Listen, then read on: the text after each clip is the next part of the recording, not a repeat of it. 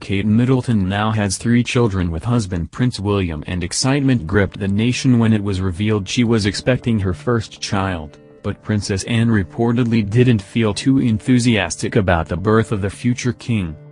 Kate, Duchess of Cambridge and Prince William had three children, Prince George, 6, Princess Charlotte, 4, and Prince Louis, 1. When it was announced Kate was expecting her first child, the world was on tenterhooks to discover all they could about the future king or queen. Now six years on, news and pictures of the Cambridge children still delight royal fans. However, one member of the royal family reportedly felt quite indifferent towards the birth of Prince George. When Princess Anne was asked about the upcoming addition to the royal family in 2013, she reportedly responded, nothing to do with me, but it's very good news. Royal fans responded on Twitter, calling the princess royal miserable. One said strange comment, don't understand her while another wrote, how rude and disrespectful.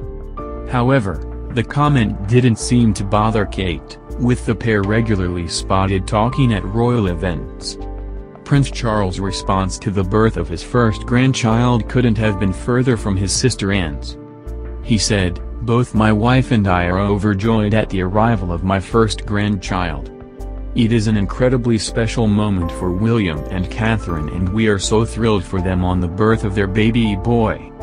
Grandparenthood is a unique moment in anyone's life, as countless kind people have told me in recent months, so I am enormously proud and happy to be a grandfather for the first time and we are eagerly looking forward to seeing the baby in the near future.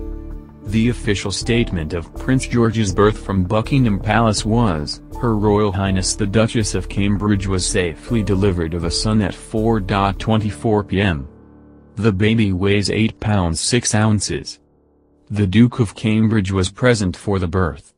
The Queen, the Duke of Edinburgh, the Prince of Wales, the Duchess of